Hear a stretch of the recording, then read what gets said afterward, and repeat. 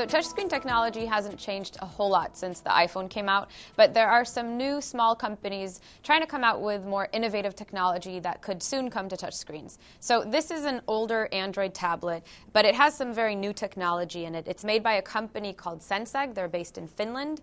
Um, and what it does is it adds a layer of natural textures on the touchscreen. Um, there are some components inside, some electronics, some stuff on the actual screen, some coding that enable this. This thing is is literally taped together, so it's obviously not for sale, um, won't be for sale for a, a, while, but this is just something that the company put together to show what, it, what they can do. So here you can see a bunch of different surfaces, and the texture actually feels different.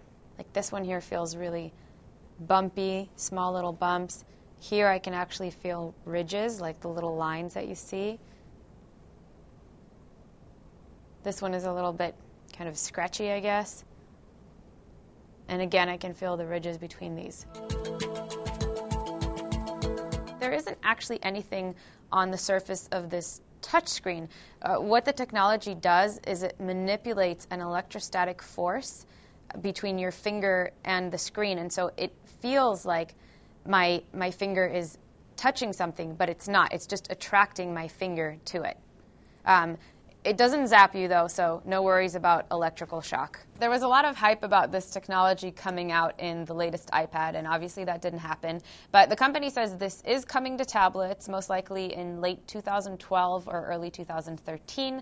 And uh, their business model is basically just selling the technology to tablet makers. So they're not going to come out with a Senseg branded tablet. Um, so are people going to like this? Well, a lot of that is going to depend on which tablets this comes out in and also what kind of applications come out utilizing this technology. There were some earlier attempts at adding some tactile feedback to touchscreens, uh, like Research in Motion's earlier um, touchscreen BlackBerry, and that did not go over so well.